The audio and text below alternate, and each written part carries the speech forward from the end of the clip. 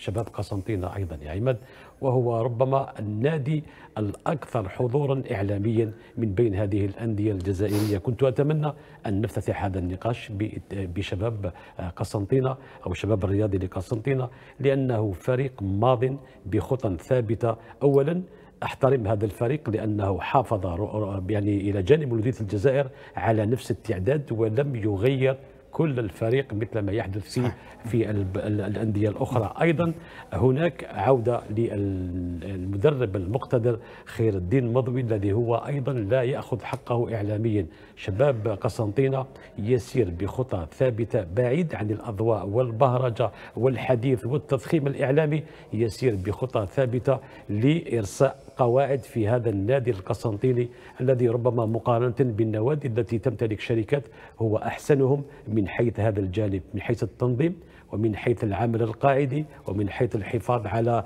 على يعني روح المجموعة والاستقرار وما إلى ذلك. لذلك عموما الأندية الجزائرية دخلت هذه هذه المباريات في دور المجموعات بأحسن طريقة ونتمنى أن يواصلوا على نفس النهج